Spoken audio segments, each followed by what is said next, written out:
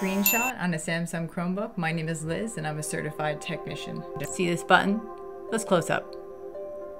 This button right here that looks like a camera, that's essential, but hold up. There's more information you have to know about it. Uh, and if you find this video in any way helpful, like, share, and subscribe. So I hit the button, the screen goes gray. With my mouse, I select a section and hit enter.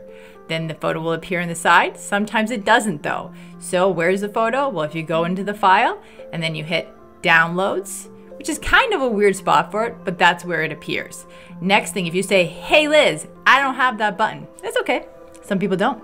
Click on the side or on the right and hit screen capture, and you can do the same thing. From one egghead to another egghead, this is Liz signing out.